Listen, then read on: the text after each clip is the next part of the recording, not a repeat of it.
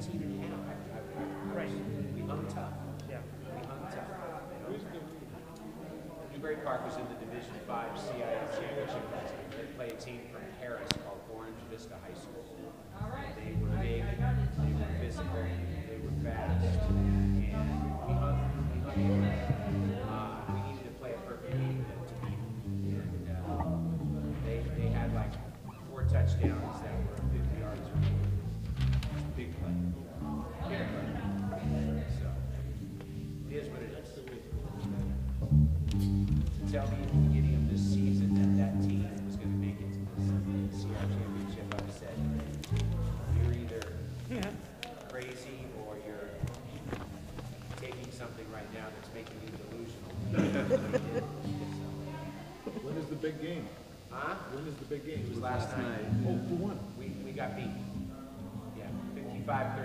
Check one, two. There it is. Just had a delay. Does that mean it's over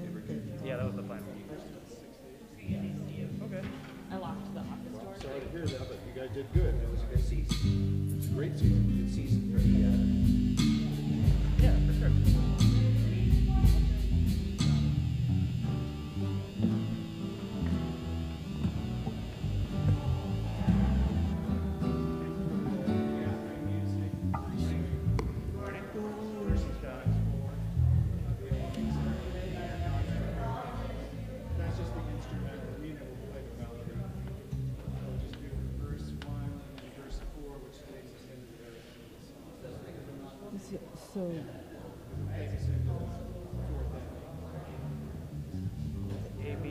into fourth ending. A B A B fourth ending. So it's A, B, A, B, fourth ending to the end. Yeah. Yeah, Okay, I just have to remember that. I wrote I, mine's still up here from the last time we played it.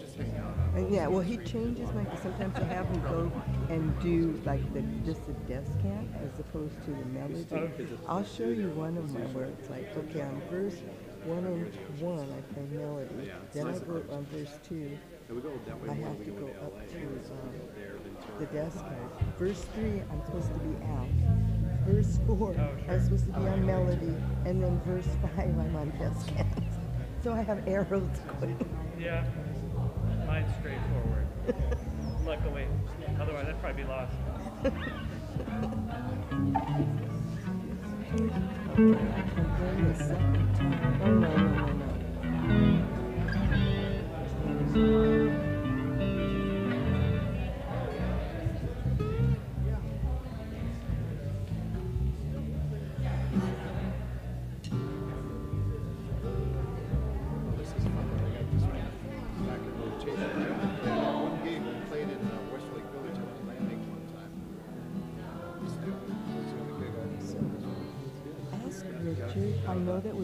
intro twice. Ask him if, he, if I should play the first time also. I know on, when the, when they're singing with us, I come in the second time. And I didn't write it down uh, if I, on the gathering.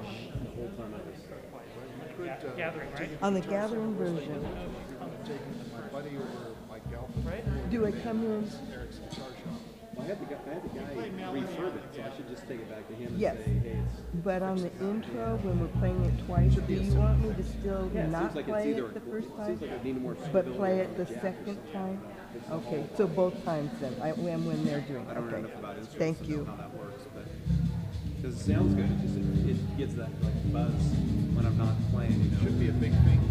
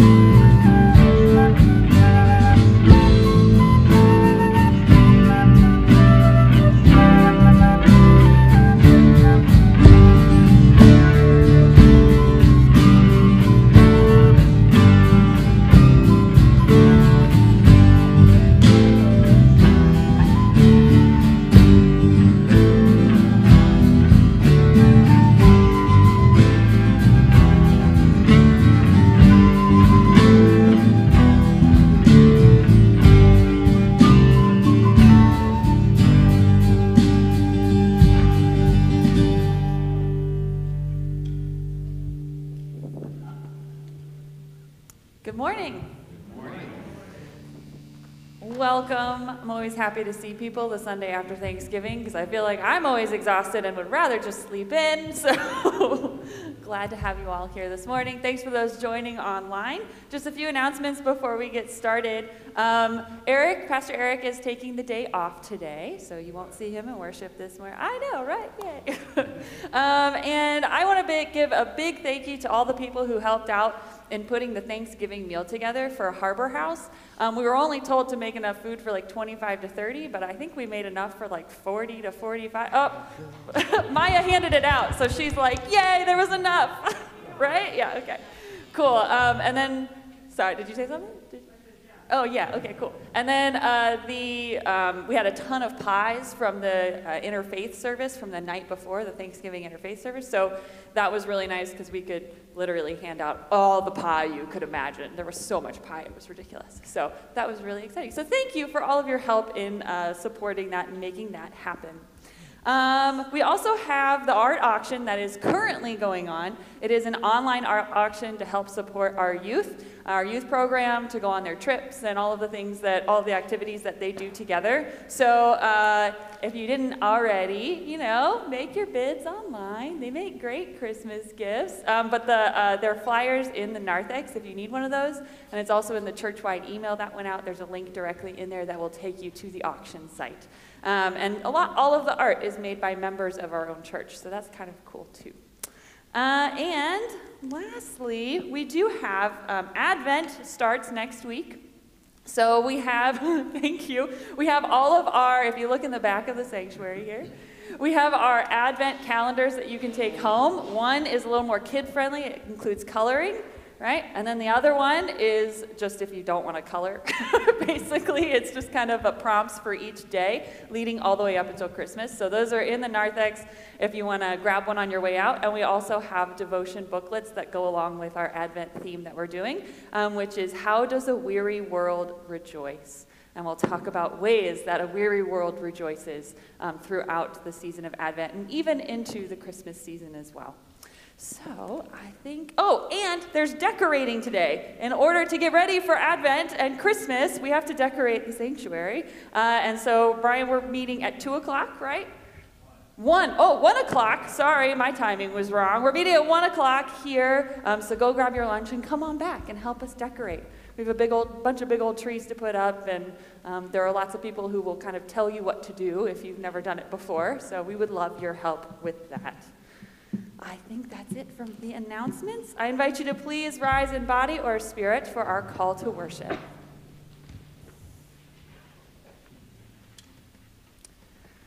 Our God is within us, beside us, and all around us.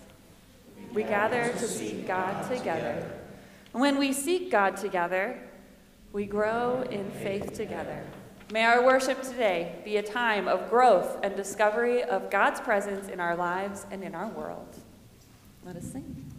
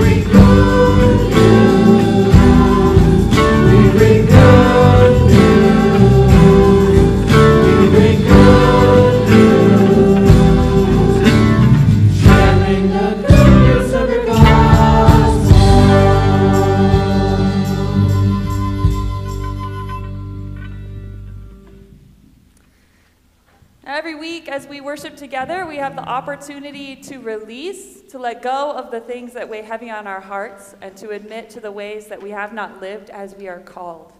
In this time of confession and opening of our hearts, let us remember that God is ready to receive, eager to offer grace, and hopeful in the possibilities of our lives.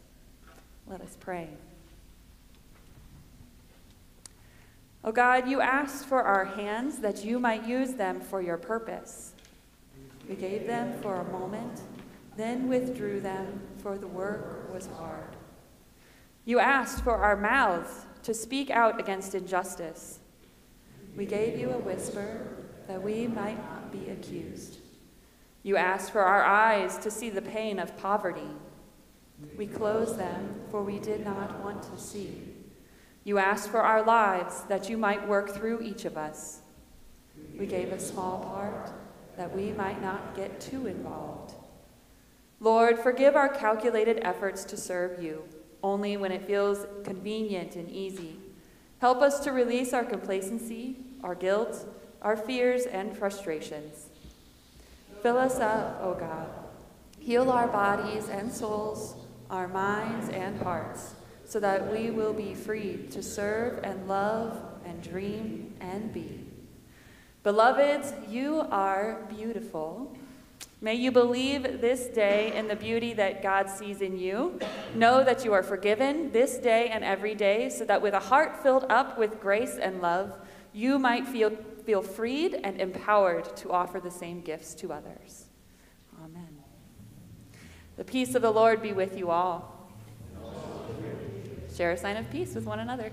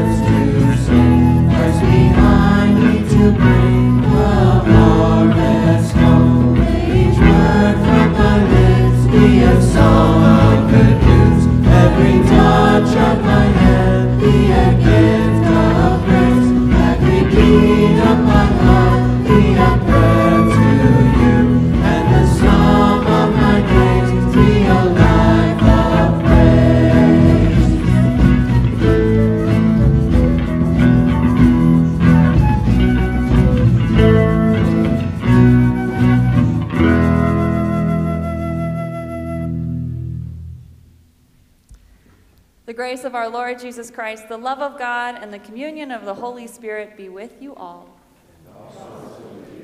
Let us pray. Gracious God, we are thankful that you are not some God far away, but that you draw near to us. You are beside us in every part of every day. We ask today that you help us see opportunities to be your hands, feet, mouth, and ears in this world. May we seek out opportunities to support each other. May we find ways to study your word together. May we be people who welcome others into a relationship with you. And may we find ways to serve you by serving others. We love you and praise you for who you are and how you continue to transform our lives. Amen.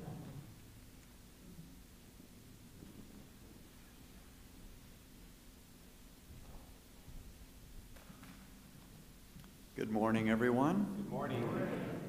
The first reading is from the book of Acts, chapter 9. Now in Joppa there was a disciple whose name was Tabitha, which in Greek is Dorcas. She was devoted to good works and acts of charity. At that time she became ill and died. When they had washed her, they laid her in a room upstairs. Since Lydda was near Joppa, the disciples who heard that Peter was there sent two men to him with the request, Please come to us without delay. So Peter got up and went with them, and when he arrived, they took him to the room upstairs.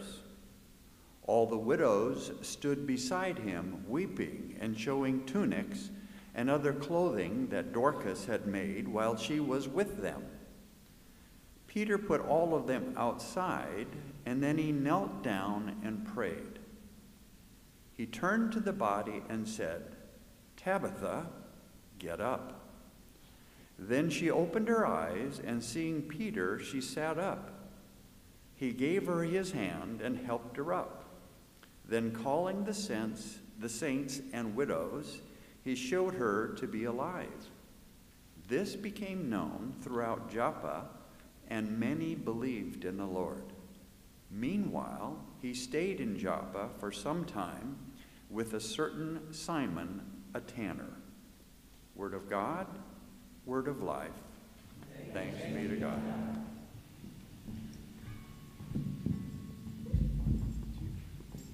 On our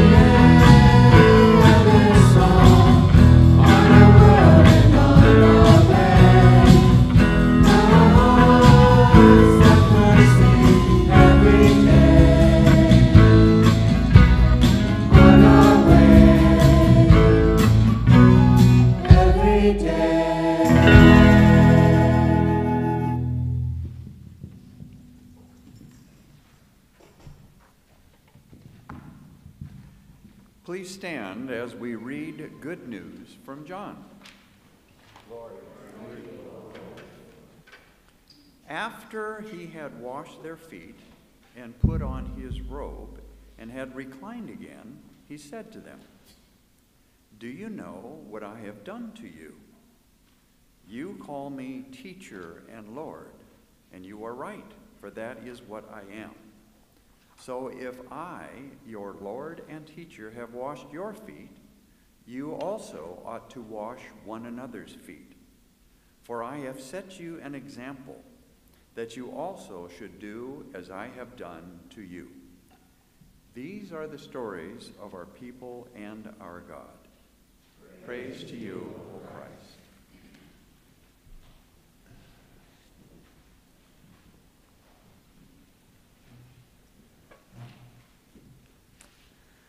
So, for our last week in our series on seeking God together, which we started quite a while ago, I think it was like 12 weeks ago. so, we've been on it for a really long time. Uh, before we enter into Advent and the Christmas season, um, is last but certainly not least the concept of serving. Seeking God together through service. We began this series by thinking about how God is within us about how and why we pray, how to make time and to make room for God, and thinking about the more personal, maybe even what we might consider to be the more private relationship with God. And then we moved into the more public aspects of faith, sensing and wondering about God's presence all around us as we give thanks together, as we marvel at God's existence, as we confess and lament and even celebrate together. And finally, we moved to how our faith and our relationship with God impacts our relationship with others. And maybe I would even add vice versa, how our relationships with one another might also impact our faith and our relationship with God. Now, on our journey through life and faith, we're called to support one another, to study the Word together, however that appears, to welcome and to make room for all at our table. And it all comes to culminate in this week about serving. Its importance for our own well being and for the well being of others, and how the joy that we experience in the love of God comes through in the ways that we serve one another, in the ways we serve together, or even find ourselves being served. We get this ultimate view of service as Jesus kneels at the feet of his friends in our gospel reading today. When do we typically read this story? Anybody know their church season super well? Maundy, Thursday! Janet's got it. All right. uh, yeah, so Maundy, Thursday is when we usually read it. So he's having a meal with his friends, he, with his disciples, right? He knows that the time of his death is very near right? And on Maundy Thursday, sometimes we even go so far as to wash one another's feet if you're so brave.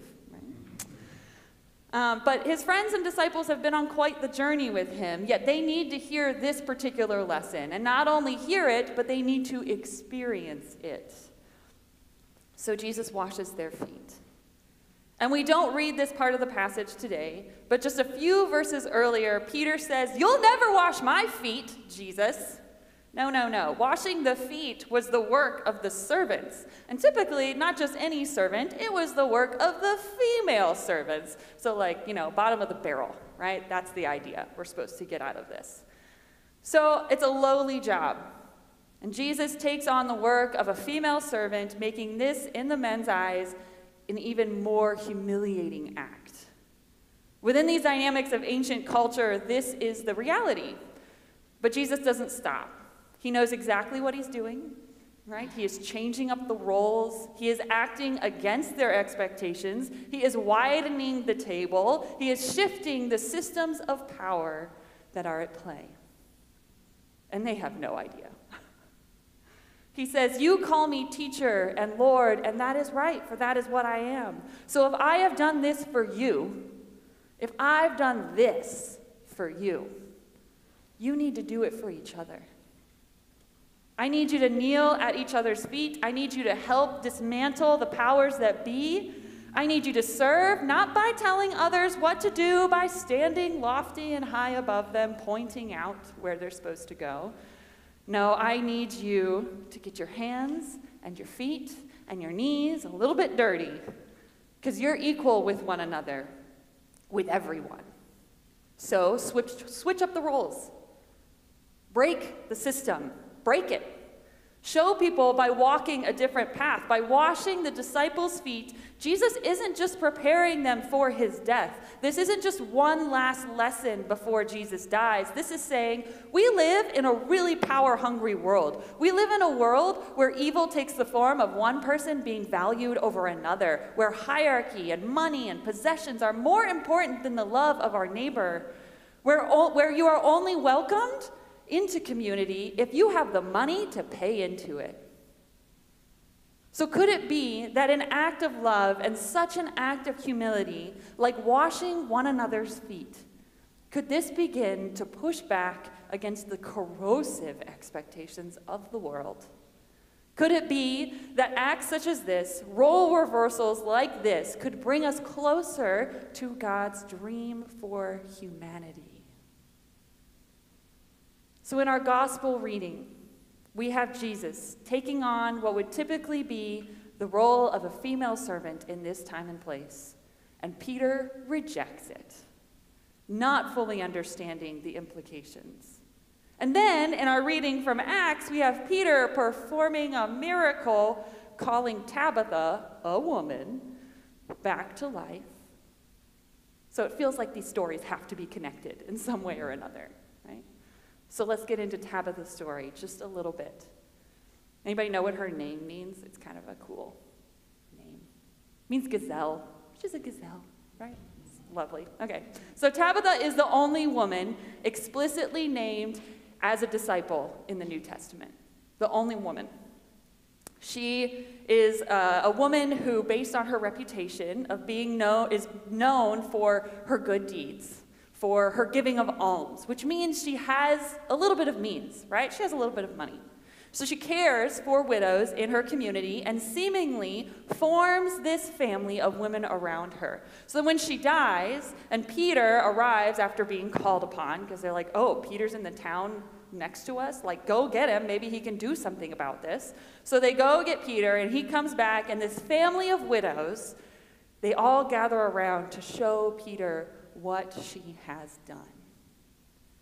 Now, if we go back to Acts 6, there is this story about the church specifically choosing seven men to do the work of caring for widows in Jerusalem. They would be called deacons, which we use that title in the church even today. And we never get a story of Tabitha receiving such a title. She did the work simply because she had the means to do it. Tabitha is a disciple because of the work she is doing. She is caring for those on the margins, and in this time and in this place, that happened to be the widows in her community. So her worth and her value of her work was not determined by her wealth. It was certainly not determined by her gender or the children she bared or the man she married or the food she cooked. Tabitha impacted the lives of the community of women through her compassion and the ways that she cared for them. So maybe not named as an official leader by the church, by the official church, right? But she was certainly valued as integral in caring for the most vulnerable in her part of the world. Tabitha shows us that when we serve others, we are saying to people that you matter and you are valued and you are important because you are a beloved of God. Now, Peter goes from arguing, and I'd even say goes so far as um, he, he, I would even go so far as to say that he rejects what Jesus was doing because of how humiliating it was for Jesus to be taking on the role of a female servant. He's shocked by this absurdity and humiliation. So he goes from that to performing a miracle in order to see a woman serving the church, valued so deeply by the people around her, restored to her community. So Peter has surely been on a journey, right, to discover what service truly means. I know that I have had, I have experienced a similar journey over and over and over again, so various journeys, whether through personal experience or by witnessing it through others. And for many years, I volunteered at a church that kind of flipped my expectations of service, of what that word really means, on its head. And it was about relationships, right? Relationships, relationships, relationships.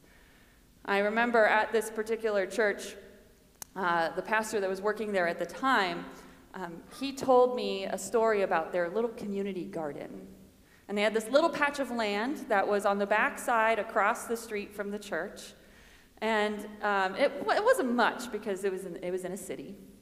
And one day he was out there in the garden with one of the kids from the neighborhood. And folks in that area, they didn't have a lot of money. And the kids would come by all the time asking for blankets or food or a place to just hang out because the church was physically a safe space for them.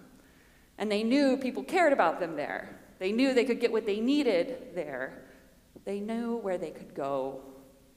So, this one particular kid knew it so well that one time they were working out in the garden together and a car drove by and the kid dropped to the ground. Because he knew that being seen with the pastor by a particular group of people would mean trouble for him. Yet he, keep, he kept going back again and again and again because the emotional safety of that space was worth the risk. It was worth it because love was there. That kid heard, You matter. You are valued. You are important because you are a beloved of God. Now, the same pastor, he had an office that was on the second floor of this building. It was one of those tall old churches. And had tons of windows on this corner where his office was. And he could see of the, uh, quite a bit of the neighborhood from up there. And if he saw a drug deal going on down below while he was in the office, he'd throw on his collar and he'd walk outside and he'd say, "Hey, how you doing, guys?" A quite possibly very dangerous act, but he did it anyway. He used his title to do good. It wasn't about showing off or making sure that people knew who he was. It was about keeping the neighborhood safe for the kids and finding ways to enter into relationships with people to make sure that folks were get, getting taken care of, that they had heat in the winter and food in their fridge and blankets on their beds and a support system for not only physical, but for spiritual and emotional needs. And all it took was opening the door when someone knocked and then taking a step outside that door, and then another, and then another, to be in the world with and among people. Listening, learning, helping, and loving them, not sitting high above in an office looking down from afar. I learned a lot about service that year, those, those many years I was there. I learned that there's no one right way. and I learned that maybe we don't always know what's best.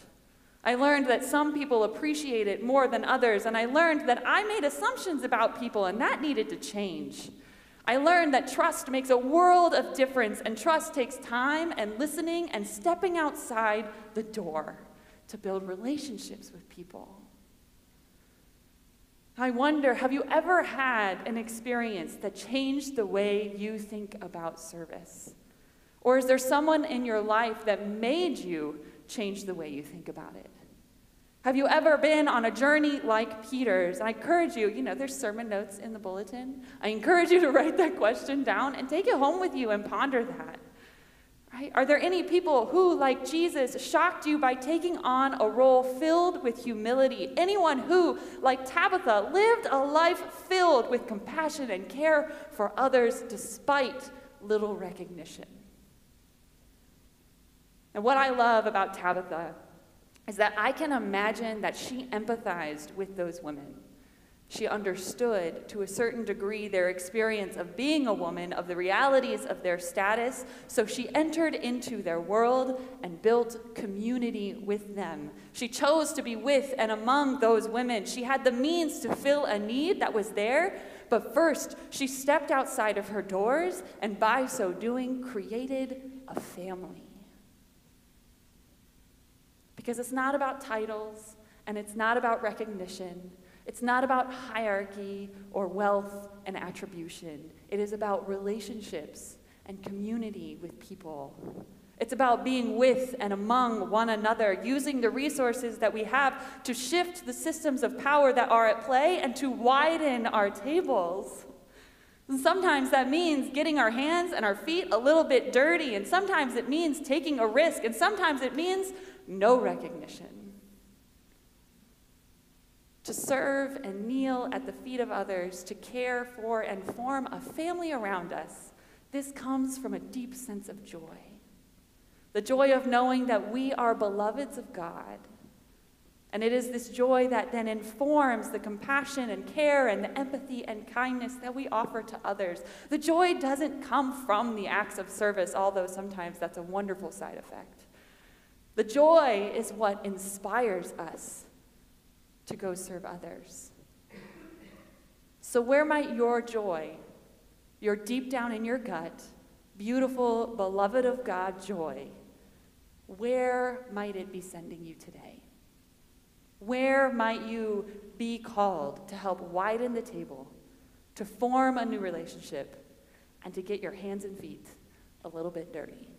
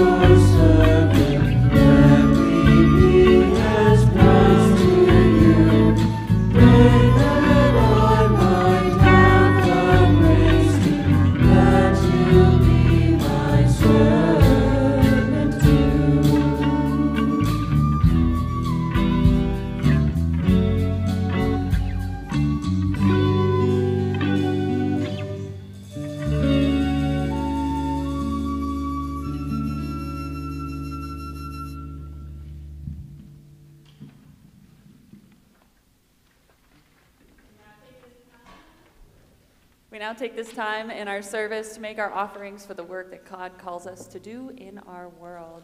Um, and if you want to give online, you can do it that way too.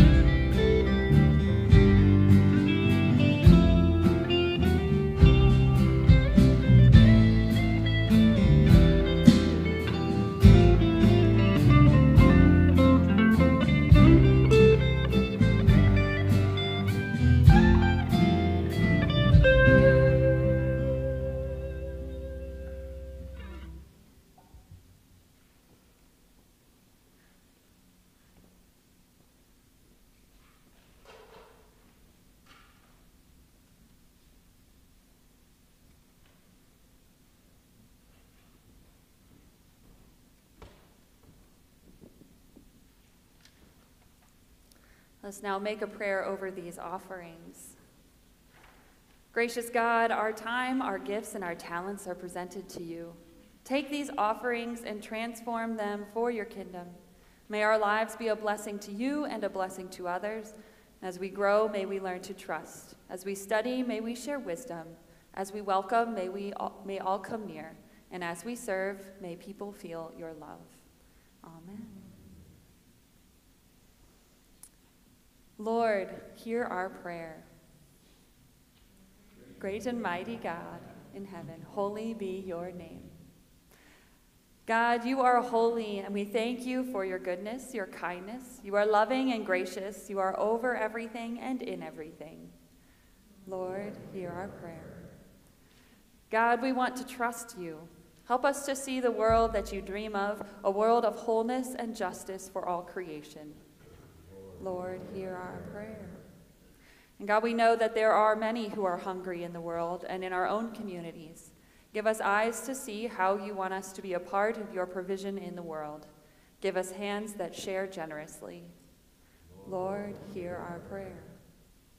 We confess that we are sinners in need of your grace, and we recognize that every day we also encounter people created in your image who may need our forgiveness. So give us the grace to seek your forgiveness and to forgive others. Lord, hear our prayer. God, we pray for protection in the coming week. Lead and guide us along the right paths. Be with those in places all around the world where there is violence and conflict. We especially pray for those in Gaza, Iran, and Sudan. Protect and guide them. We especially pray for those newly added to our prayers this week. We pray for Roger Anderson for healing and for those that we now name out loud or silently in our hearts.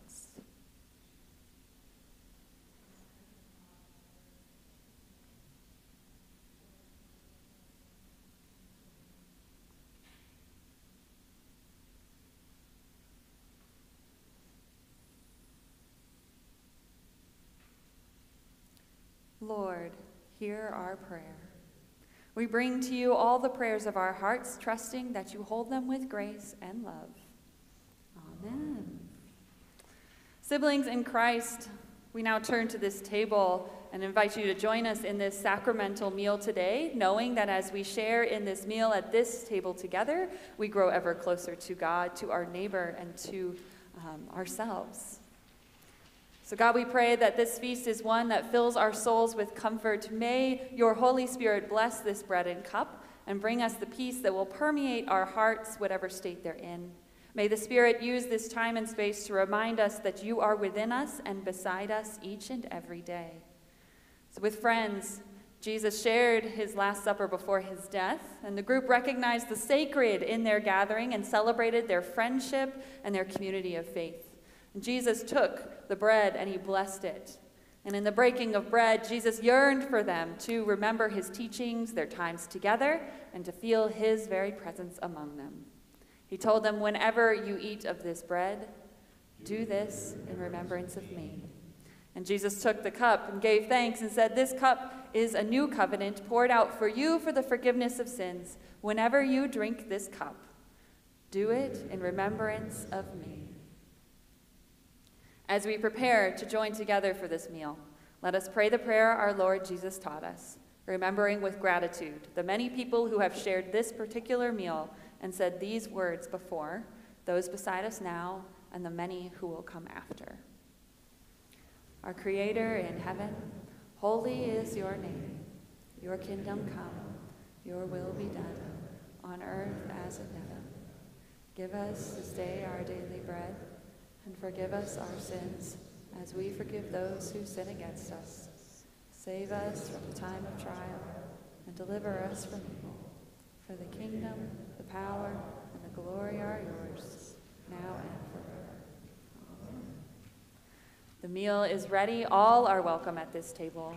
Come and eat. Our ushers will guide you forward seat to receive your communion. Um, You'll receive a wafer. We have gluten free available if needed, and we have wine and grape juice. You'll receive those as you come up to the front, move to the outside, and place your empty cups in the baskets before returning to your seats.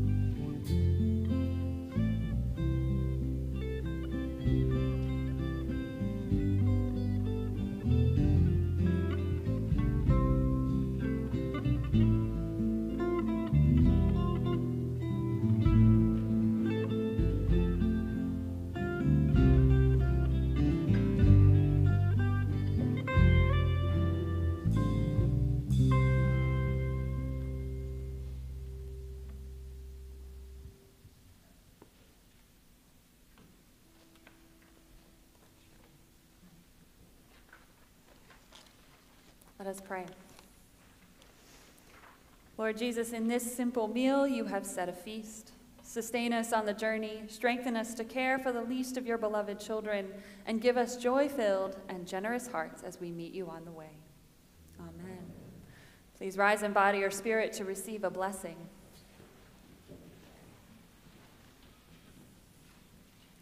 Go from here today, knowing that you do not go alone, that God is, God is with you, God is beside you, and share God's love with others. Amen.